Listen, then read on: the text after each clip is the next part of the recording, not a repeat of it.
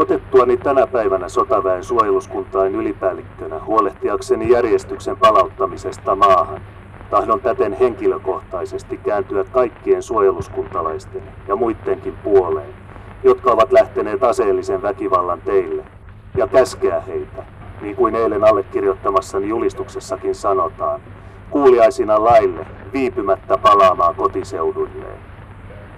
Kukaan ei ole oikeutettu lähtemään paikkakunnaltaan aseistettuna ilman päällystön lupaa, eikä kenenkään myöskään pidä kallistaa korvaansa kiihottajille ja värväjille, jotka yrittävät yllyttää kansalaisia lähtemään ase kädessä taisteluun laillista yhteiskuntajärjestystä vastaan.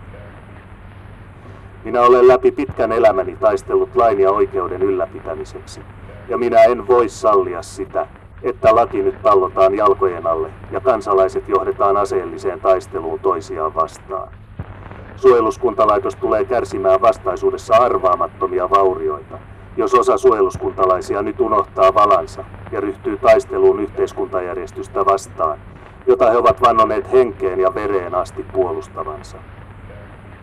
Kun nyt olen omalla vastuullani, kenestäkään riippumatta, ottanut vastatakseni rauhan palauttamisesta maahan, kohdistuu jokainen salahanke tästä lähtien, paitsi laillista järjestystä, myöskin minua vastaan henkilökohtaisesti, joka itse olen suojeluskuntalaisten riveissä marssinut yhteiskuntarauhan ylläpitäjänä.